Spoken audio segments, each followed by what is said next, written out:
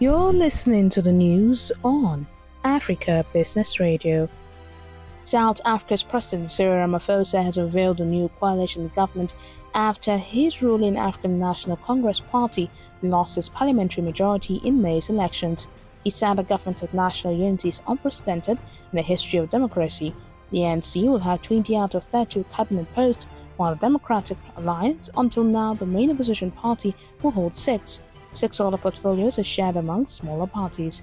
In the new cabinet, the ANC would keep key ministries such as defense, finance, and foreign affairs. The DA's portfolios include home affairs and public works. Party leader John Steenhuisen will lead the agriculture ministry. That was the news at this time on Africa Business Radio. You can continue to listen live online at www.africabusinessradio.com or via a mobile app. I am Chukunonso Modi and thank you for listening.